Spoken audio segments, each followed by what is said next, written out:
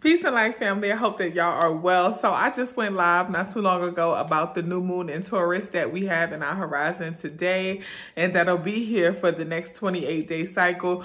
Um, but the video accidentally deleted you guys. I don't know how that happened, but it accidentally deleted. So whatever. I'm recording a new one and I'm going to share the information. Now, the benefit about me having to record the new video is that um, I recognize that in the last video, I was talking very fast and sharing a lot of information. So I'm just going to try to reiterate some of the same information that I shared in the live, but maybe talk a little bit slower, but still keep the video kind of short, which is like a balance, you know, because um, I do try to give you guys as much information as I can, but also not, you know, hold you. Not, I don't want to be before you long. You know, as the passage used to say that. So I want to be before you long. You know, um, so I'm gonna try to keep it short and quick. My intentions with this video is just to simply explain exactly why we value moon energy, specifically the new moon, various rituals and practices that you can practice during the new moon to make sure that your manifestations are abundant, as well as just ending with the value of having a new moon in Taurus and exactly what that means. So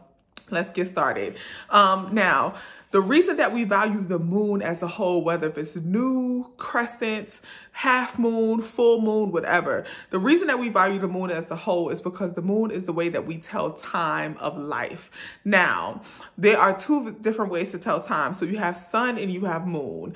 The sun is the way that we tell the time of day. The moon is the way we tell the time of life cycles. So when I say life cycles, I'm speaking of life in the universe as a whole. So the universe we are one energy. That is why it is universe. We are one versatile energy. When I say one versatile energy, that just simply means that we are one energy that manifests in various different forms. So one energy that manifests in various different forms. Now, what that manifestation looks like is we are one energy that manifests as water, that manifests as plants, various species of plants, manifests as animals, various species of animals, manifests as human beings, different ethnicities and ethnic groups groups and tribes and locations, but we are one energy being that manifests in different forms. That is what makes us a universe. So when I say life, the moon is how we tell the time of a life cycle. All living things live within the same realm of time, and we tell that time based on the moon. Now, depending on the phase of the moon determines where we are within that time and what type of energy we vibrate on within that time and how our energy interacts within the universe. Because we all are one energy being, because we are one universe and we are all interconnected, the moon and the sun impact every impacts everything within the universe. Everything is impacted within the moon and the sun. Now, speaking specifically on the moon, I'll do a separate video about the sun, but speaking specifically on the moon, when we think about the moon's impact, we have to think about it as a vibrational thing. We are energy, so we all vibrate on different frequencies. Our vibration is basically how we measure our energy level and our connection within the universe. So yes, we are energy, but sometimes our connection or our vibration is lowered depending on environmental factors. Environmental factors could be stress, environmental factors could be fear, environmental factors could be financial issues, environmental factors could be vibrating high because you're experiencing love and you're experiencing abundance and you're experiencing a light energy and a peace energy. So that increases your vibration. So negative things decrease your vibration. Negative things like fear, hurt, harm, danger, panic, being afraid, all of that decreases your vibration and the feelings of love, peace and happiness and gratitude increase your vibration. So we all vibrate on various frequencies depending on our environmental experiences. And this includes animals and plants and water, so on and so forth, right? Now, when we eh, think about the moon and how the moon interacts with our vibration, depending on the phase of the moon determines how it interacts with our vibration. Now, why is the new moon so valuable? The new moon is that it gives us the opportunity to reset ourselves and to reset our vibration from the last moon cycle. So we just completed a moon cycle. The full moon indicates the end of a moon cycle. Now we have a new moon. So that means we have started a new 28 day cycle. Each moon cycle is 28 days. A little bit different, but similar to the European calendar where it's about 30 to 31 days. The moon cycles are consistently 28 days. So we have a 28 day moon cycle and the new moon represents a be new beginning, a new opportunity to reset and restart for the new moon cycle. That means our vibration is reset if we come in intentional about resetting our vibration. And this is what moves us into rituals and practices to reset your vibration for the new cycle. And that way you have the opportunity to manifest your deepest desires for this new cycle. So what are some things you can do to reset your vibration? To reset your vibration, number one, you definitely want to make sure that you are detoxing your body. Now, to detox your body, you want to make sure you are consuming herbs such as senna, S-E-N-N-A, senna, S E N N A. That is a very good detox that you can find in your local grocery store. I believe Yogi Tea has a detox brand that includes senna. Um, there is also a green box called Ballerina Tea that they sell in a lot of grocery stores, uh, beauty supply stores, that is also pure senna herb. Um, they also have another green box called Dieter's Tea that is also pure senna that they sell in a lot of grocery stores and beauty supply stores. And the box is only about like two or three dollars, but it's pure senna. Senna is a good gentle herb that you can take. You can steam it. You steam the tea bags, and it definitely like just cleanses out the body, the digestive system. You can add a little bit of eucalyptus, a little bit of peppermint, some ginger to cleanse out the respiratory system. Open up the ears so that you can be able to listen and hear the ancestors speaking to you. Opens up that third eye and that throat chakra as well. The big thing about the senna is the senna opens up that solar plexus, opens up that uh the root chakra. Make sure that sacral chakra is wide and prepared and ready. You want to make sure that you are fully and completely aligned. Now to open up your third eye chakra, as well as to open up your Ori chakra, your crown chakra. You want to make sure that something that you are doing is putting a little drop of cayenne pepper or cinnamon oil at your crown and at your third eye chakra. So that way that you are fully open and aligned and ready to receive, to receive messages from the universe and from ancestors and spirit guides at this time. The beautiful thing about the new moon energy is that it is an increase of intuition and it is an increase of ancestral energy and spirit guide energy. So you receive a lot of messages. You may be having a lot of vivid dreams at this time. You may be getting a lot of words of wisdom and things like that from your ancestors. When you are sleeping, you may see, see your ancestors and see your loved ones who have passed on and transitioned to the ancestor realm in your dreams. There may be certain messages in your dreams. Pay attention to the signs and the omens in the universe. This is a highly intuitive time. New moon intuition, new moon energy is an increase of intuition. So you definitely want to make sure that you are paying very close attention to your intuition. So once again, Make sure that you are fully detoxing your body, doing what you have to do to align and open up your chakra so that you can receive all of those messages. The senna is great. The eucalyptus, the peppermint, the ginger, or ginger is all of that is great in order to detox your body. These are all things that you can find in your local grocery store. Now, another thing you want to do aside from just detoxing your body, you want to also make sure you are detoxing your environment. To detox your environment, to cleanse the energy out of your environment, you want to make sure that you are cleaning your house from corner to corner. Make sure you place a little salt in your corner. The purpose of placing some salt in your corner is to make sure that you are mining the energy that is welcomed into your home, protecting your home. Salt, sea salt, fresh Himalayan sea salt. Uh, you can use pink Himalayan sea salt, which also can be found in your local grocery store. Any recommendations I give you all, I try to give things that I know that are in local grocery stores across the world so that everyone can have access and be able to do these rituals. So pink Himalayan sea salt, you can put a little bit in each corner of your household and that'll protect you from the hags, as we say down south. It'll protect you from anything negative, anything that is not of your highest supreme energy. Once again, we are in a new moon cycle, so you want to make sure that you are manifesting at your highest supreme energy. So clean your house from corner to corner, put a little pink Himalayan sea salt. Another thing you want to do to cleanse your home burn some sage, which um, it may not be easily accessible at your local grocer, but it is on Amazon.com. You can buy sage off Amazon. Um, I have purchased sage from Amazon before and it worked well. It burned well and it was pure California desert sage, which is pretty good. So you can buy sage off Amazon.com. If you don't have access to sage, you can also use fresh basil. Basil is also a household cleanser, which you can also buy at your local grocery store. So basil is a good cleanser as well. Palo Santo, um, if you have cleansing incense, that is also great to use as well. Another great incense to use or a great herb to use is dragon's blood, which is also a purifier and protector of your home. So you want to make sure that when you are cleansing your home, this is called smudging, the process of burning sage, basil, Palo Santo, dragon's blood, whatever. It's called smudging. You want to make sure that you open up your windows so that the negative energy has a place to leave. You have a place to release anything that does not serve you, and you can welcome in the positive energy. Close those windows. Sprinkle a little uh, of the sea salt on your window sill and that way you are sealing the energy within your home and you are cleansing your environment and starting anew. So we have done a body detox. We've done an environmental detox the last thing you want to do is during this time, especially with the new moon, is you want to spend a lot of time in deep meditation and silence. The new moon energy is most powerful three days after the actual new moon appears. So the our new moon was at its horizon or reached horizon uh, April 22nd, the new moon in Taurus, this current new moon, April 22nd around between 10 and 11 p.m. Eastern Standard Time.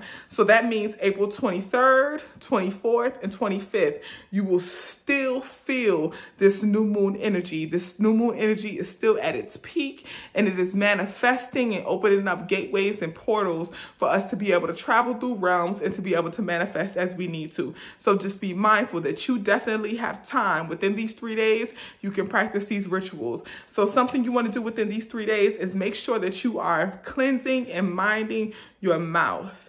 Mind your words. Now, the thing with the new moon, it's a high manifestation time quite often we don't recognize the power of our tongue. You want to mind your words. Something that I mentioned in the live when discussing the new moon is be mindful that during this new moon, especially a new moon in Taurus, we have what I like to call a switchblade tongue. A switchblade tongue, that means your tongue is sharp. Your tongue can cut deep. Be mindful of how you are communicating with people, especially with the new moon in Taurus. Be mindful of that throat chakra. Be mindful of how you are communicating communicating with people, be mindful of the things you speak, be mindful of your complaints, okay? So mind your tongue. Spend a lot of time, majority of your time in pure silence. Spend majority of your time in pure silence during this time. Another thing you want to do really quickly, going back to the body detox, is to be mindful to stay away from alcohol um, as, as much as possible. You know, stay away from alcohol as well as try to stay away from uh, white sugar. You can use coconut sugar, you can use honey, but try to wait, stay away from white sugar and alcohol during this time. That's another great way to detox the body.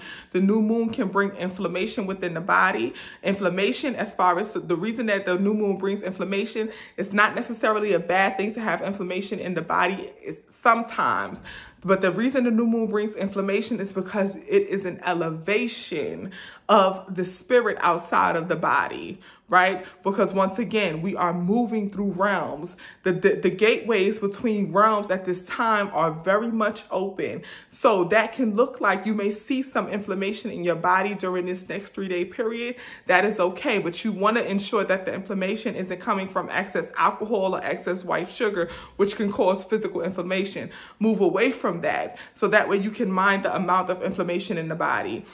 Once again, be mindful, stay away from alcohol, excess white sugar, so on and so forth. The inflammation that you may notice in your body during this time is normal. We are moving and traveling through realms. Same way if you was to travel in the physical realm, you would see some physical inflammation. The spiritual realm is the same way. As you travel through the spiritual realm, you may notice some physical inflammation in the body. That means that you are traveling through realms. Relax your body. Mind your tongue. Mind how you speak. Mind what you say. For everything you say will manifest in the physical realm. So be mindful of what you say. Mind your switchblade. Put some honey on your tongue channel some of that Oshun energy, put a little honey on your tongue so you can be able to speak sweetness and light and love. Put a drop of honey on your tongue or under your tongue in the morning afternoon and evening, okay? So be mindful of what you say. Be mindful of what you speak. Be mindful of who you speak on, okay? Be mindful of your complaints. I advise that everyone at this time wake up with gratitude out your mouth first. You can wake up with I am well mantras. You can wake up with I am happy, I am peace, I am light. Speak your I am mantras and speak light and love and manifestations and prosperity into your being. Whatever you say is what will manifest. So be mindful of those first words that you speak when you wake up, okay? So those are just some new moon rituals. I went over physical detox. I went over um, environmental detox. I just spoke on minding your tongue. Another thing you want to do is be disciplined within your altar work at this time. So some spiritual work that we can do, some spiritual rituals and practices that we can do during this new moon and any new moon, not just this new moon, but any new moon. These recommendations are for any new moon. Something that you can do is mind your altar. Make sure that you are keeping fresh water on your altar. April is the altar month. This is the month of blooming. This is the month of flourishing. This is the flower new moon that we have in our horizon. So this new moon is the month of flourishing. This is the new moon of manifestation. So make sure that everything in your altar is clean. Make sure that you are constantly tending to and cleansing your altar, keeping fresh water out. Make sure you have your spirit water at your altar. Spirit water is pure, fresh water, alkaline water with a couple uh, uh, with a, a, couple drops or a, a couple shots of rum. When I say drops, I mean shots. A couple shots of rum in the water, in a bowl of water.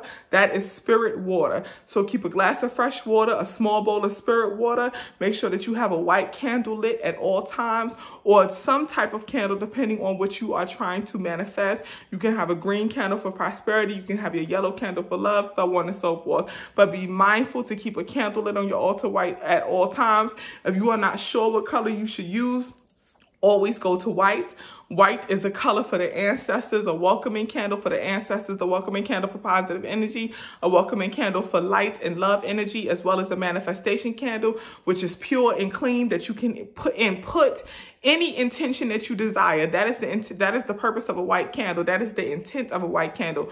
Is that with a white candle, you can put any intention that you desire into a white candle. You can simply write your intention on a piece of paper, tape it to the bottom of the candle, and light the candle. Okay, so you can place any intention that you desire into that white candle. Keep a white candle lit. Place that on your altar. Spirit water, a glass of fresh water, and make sure that is on that is on your altar at all times. You can also add any crystals that you would like during this specific new moon. A rose quartz would be amazing to add to your altar. You can add a rose quartz. You can also add some pyrite as well. Okay to your altar but make sure you are doing your altar work. Make sure you are giving gratitude to your ancestors. For all my patrons patreon.com backslash the queen po where i teach a masterclass on african spirituality. You know you guys know i talked for this month of april. I spoke about the nine day altar ritual where you welcome new ancestors in. So you want to make sure new egun you want to make sure that you are welcoming new ancestors honoring your ancestors at your altar at all times okay? So that's some physical work some spiritual work, some mental work, as well as some environmental work that you can do, some environmental rituals. Now, why is a new moon in Taurus significant? This is very important. Taurus is an earth sign. Our new moon in Taurus occurred on April 22nd, 2020, which was Earth Day. Now, that is very significant because Earth is a sign of being unlimited. It is a sign of limited, limitlessness, right? So when we think about having limitlessness, we are not limited at all. That means that we have the power to manifest any and everything that we desire, which is a pro, but it is also a con. I'm going to start with the con so that we can end on the good, which is the pros. Now, having the opportunity to manifest anything that we desire. The con of that is sometimes we don't recognize what we are manifesting by what we speak, by what we do, by what we think. Our thoughts are manifesting, our words are manifesting. Any and everything that you are is manifesting. When I say are, I am as I am. So you are your thoughts, you are your words, you are your actions. Be mindful of that, okay? Be mindful of that. So everything that you are is what will manifest. So that means that you have to mind your thoughts, you have to mind your words, you have to mind your actions and make sure that it is all aligned with your spirit in order to manifest the most positive that you can possibly manifest. Now, the beauty of having this opportunity to manifest anything that we desire is that we can manifest our deepest and wildest dreams and our deepest and wildest desires, which is always a great thing, right? So you want to make sure that you are fully, fully intentional. Now, the beauty of the full moon, excuse me, the new moon in Taurus. Now, having a new moon in Taurus, aside from just being able to manifest in abundance, this is Taurus is an earth sign that is the bossed up energy. It is the leader of the earth signs. It is the fixed sign. It is at the forefront, the one that pops it off for the earth signs, right? So we have this limitlessness where we have the opportunities to manifest anything we want. So this gives us a, a lot of bossed up energy, a lot of leadership energy. Taurus is the bull sign, right? So Taurus is like is that leader, it's that strong bull. Now, the, the, the let me once again let me do the cons first, then I'll do the pros. The con of that is it can be some stubbornness there. The bull sign, the Taurus are known for being stubborn. There can be some stubbornness there. There may be some moments where, you know, you are not quite ready to compromise. Be mindful of that. Be aware of that, but also be aware that with compromise comes collaboration. So this is a great time to collaborate with people around you. Be willing to compromise. Be open to compromise. Now, the pro of that bossed up energy is that you have the opportunity to finally take charge and take control over all aspects of your your life. Anything that manifests during this 28 day cycle is solely on you, whether good or bad, positive or negative, it is solely on you. You have the power. Okay, you have the power. So take that power, hold on to that power and enjoy it, but use it for good. Use it for your good as well as the good of the universe. For the good of the universe is your good. Now be mindful that another thing, and I'm going to end, not end with this, but I'm going to include this as far as the new moon in Taurus, and this will be the last point for the new moon in Taurus.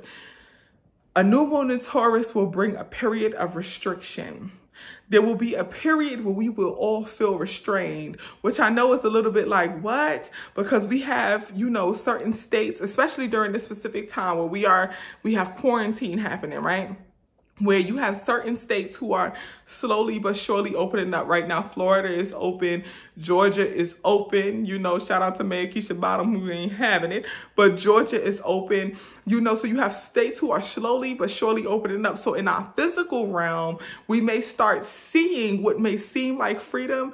But during this new moon in Taurus, there will be a period where spiritually we feel restricted and you don't really know why. There will be a time period of uncertainty. And we we may experience that at different points, but the, during this next 28 days, there will be a time period where you will feel uncertain, you will feel restricted, you will feel restrained, and you don't know what's going on. And it's an internal feeling, and you may not necessarily know where it's deriving from. Stay steadfast in that moment. That moment where you feel restricted, that moment where you feel restrained and you feel uncomfortable, unsatisfied, and you don't know where it's coming from. Just stay steadfast, do your altar work, keep on going back to what you know you are, which is your I am mantras. I am well, I am peace, I am happy, I am abundant. Go back to your I am mantras. Make sure that you continuously know that you have the power to manifest your deepest desires and this is your time to boss up. So that time that you feel restricted, that time you feel restrained, that's when you need to spiritually boss up and you need to recognize your power and manifest your deepest desires, okay? So just know that that time and that experience is going to come within those 28 days.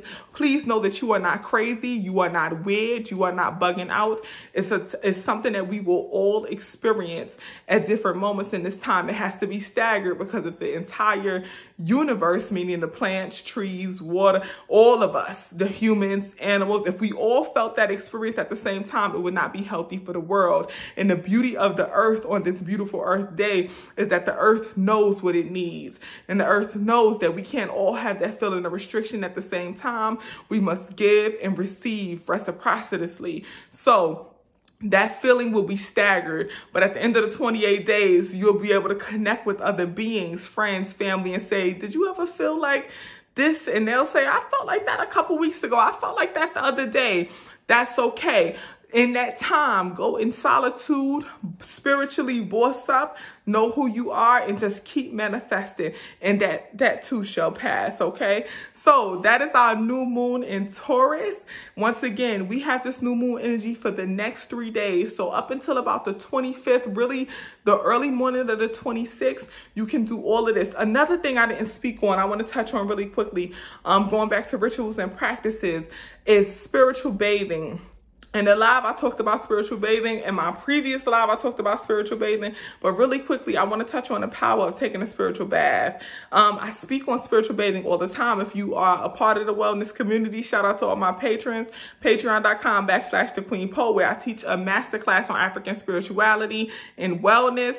If you are part of the wellness community, you know I talk about spiritual baths all the time. I give a lot of spiritual bath recommendations in the wellness community. The power of a spiritual bath, our skin is the largest largest organ on our body. Our skin contains multiple pores. Now, because we are energy beings, our energy dwells internally, but our energy seeps through and radiates through our pores, which manifest our aura. Now, our energy, as it goes through our pores, it creates an energy field outside of our body called an aura. That's what the aura is. The aura is your energy field. It is a reflection of your internal energy that comes through your pores and manifest as your aura. So, you know how people say, I can read your aura, I can see your aura, which is the reflection of your internal energy. You have to make sure that you spiritually bathe so that way that your aura is an accurate reflection of your internal energy. Now, the power of spiritual bathing, as you move outside of your aura, your aura can travel up to six feet outside of your body, which, as I spoke on in the last live, is interesting about the whole social distancing thing. And that they said stay six feet away from each other, because I spoke on that multiple lives ago that our aura is six feet outside of our body, right? So, be mindful that your aura goes six feet outside of your body. It comes through your pores. You want to make sure that your skin is purified and clear, well taken care of so that it can accurately reflect your internal energy. Another thing about spiritual bathing, aside from just cleansing out those pores and cleansing the skin so that you can actually accurately reflect your internal energy, another beauty about spiritual bathing is because it opens up those pores, those herbs and those and those oils and whatever you put in that spiritual bath also seeps into your pores and cleanses your internal energy. So if you are going through something, if you are feeling unbalanced, if you are not feeling well,